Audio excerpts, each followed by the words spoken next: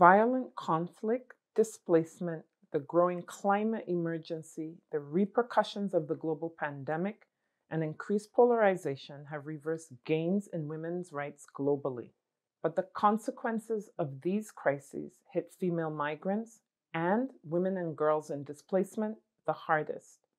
We know that at the current rate of progress, it will take 300 years for women and girls to achieve gender equality.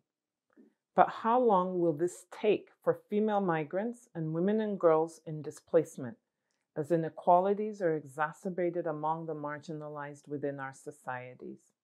Evidence today points to an increasing gender gap in migration regarding the share of international female migrants, which is decreasing globally. In 2020, there were 146 million male migrants and 135 million female migrants.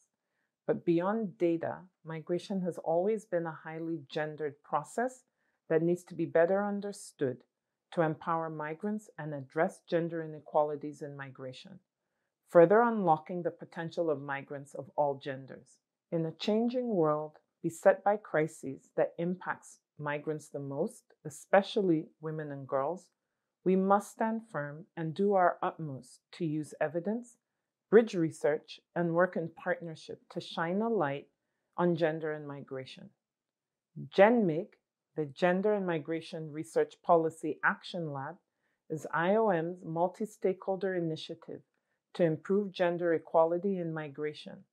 GenMig leverages impact research on gender and migration through a global partner network involving governments, private sector, civil society, academia, and other UN agencies.